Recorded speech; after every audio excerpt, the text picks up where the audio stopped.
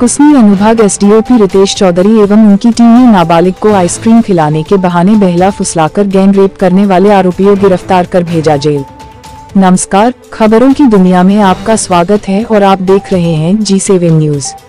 बलरामपुर ज़िले के नव पदस्थ पुलिस अधीक्षक महोदय बलरामपुर लाल उम्मीद सिंह के द्वारा सभी थाना एवं चौकी प्रभारियों को महिला संबंधी अपराध शिकायत का तत्परता से निराकरण करने का निर्देश दिया गया था, जिसके परिपालन में एसडीओपी कुसमी रितेश चौधरी ने कुसमी अनुभाग के सभी पुलिस अधिकारियों को एस पी महोदय के उक्त निर्देश का कड़ाई से पालन करने के संबंध में मीटिंग भी लिया गया था। दिनांक 7 जून 2023 की सुबह करीबन 11 बजे कुसमी क्षेत्र के एक गाँव में शादी का कार्यक्रम चल रहा था, जिसमें एक 16 साल की नाबालिग आदिवासी युवती शामिल होने गई थी। उक्त शादी समारोह में विनोद इक्का, संदीप तिर्की चंद्र प्रकाश मिंज भी गए हुए थे। संदीप नाबालिग लड़की को बहला फुसलाकर बातचीत करने लगा। और उसे आइसक्रीम खिलाने के बहाने अपने दोनों साथी विनोद इक्का और चंद्र प्रकाश के साथ स्कूटी में उस युवती को बैठाकर कदमटोली ले गया। वहाँ तीनों लड़के शराब पिए। जब लेट होने लगा तो लड़की घर जाने की जिद करने लगी। तीनों लड़के ने उसे, चलो घर छोड़ देंगे कहकर कंचनटोली बाँध ले गए। रात करीबन आठ से नौ बजे, तीनों लड़के उस युवती के साथ छेड़खानी करने लगे। उस युवती को अकेला पाकर और अंधेरे का फ़ायदा उठाकर बाँध किनारे सुनसान जगह पर बलात्कार करने लगे। तीनों युवक बेरहमी से उस युवती के साथ बलात्कार कर रहे थे। जब युवती इन लोगों का विरोध करने लगी चिखनी चिल्लाने लगी तो तीनों युवक उस युवती के साथ मारपीट कर धमकी दिए कि अगर ज़्यादा चिखेगी, चिल्लाएगी तो यहीं पर तुझे मार डालेंगे। और अगर इस घटना के बारे में यदि किसी को बताएगी तो तेरे परिवार वालों को भी मार डालेंगे। जिससे युवती डर गई और सदमे में आ गई। उक्त घटना की थाना में रिपोर्ट होने पर एसडीओपी कुसमी रितेश चौधरी ने एसपी डॉक्टर लाल उम्मीद सिंह को संपूर्ण घटनाक्रम से अवगत कराया, जिस पर एस पी के द्वारा गंभीरता और चिंता व्यक्त करते हुए तत्काल आरोपियों की धरपकड़ के आदेश दिए। उक्त आदेश के पालन में आरोपी की पतासाजी हेतु दो टीमें बनाई गई।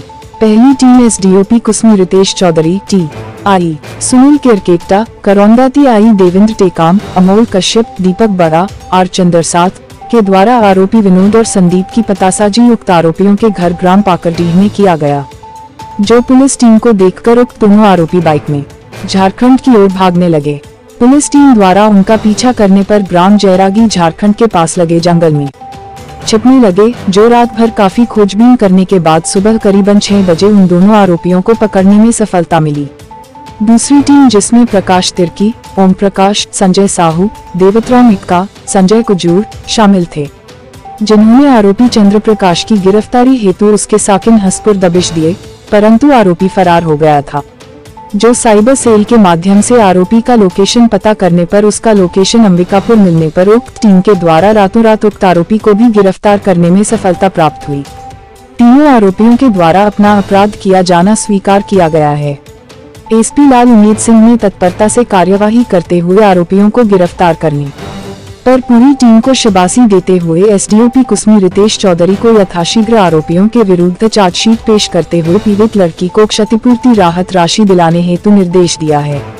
लगातार दो दिन तक पूरी टीम के द्वारा कड़ी मेहनत करके आरोपी एक विनोद एक का पिता लक्ष्मी प्रसाद उम्र 25 साल, दो संदीप तिर्की पिता भुवनेश्वर उम्र 20 साल, दोनों निवासी पाकरडीह तीन चंद्र प्रकाश मिंज पिता सुखचरण उम्र 25 साल निवासी हंसपुर को गिरफ़्तार किया गया है। जिन्हें थाना कुसमी के पास्को एक्ट एवं बलात्कार के अपराध के तहत आज दिनांक एक दो छह दो शून्य दो तीन को न्यायिक रिमांड में भेजा गया है। उक्त कार्यवाह में एसडीओपी कुसमी रितेश चौधरी के साथ T I Kusmi Sunil Kirketa Korchati I Devendra Tekam, सहायक उप निरीक्षक प्रकाश तिर्की, प्रधान आरक्षक ओम प्रकाश, अमोल कश्यप, दीपक बड़ा, आरक्षक संजय साहू देवत्रा मिक्का संजय कुजूर, चंदर सायक शामिल थे। संवाददाता सुनील चेरवा की रिपोर्ट जी सेवन न्यूज़। दिनांक सात जून 2023 को थाना कुसमी के एक गाँव में एक 16 वर्षीय नाबालिग आदिवासी युवती के साथ तीन लोगों ने दुष्कर्म किया था। और दुष्कर्म करने के पश्चात उसको मार पीट करके उसे जान से मारने की धमकी दिया था।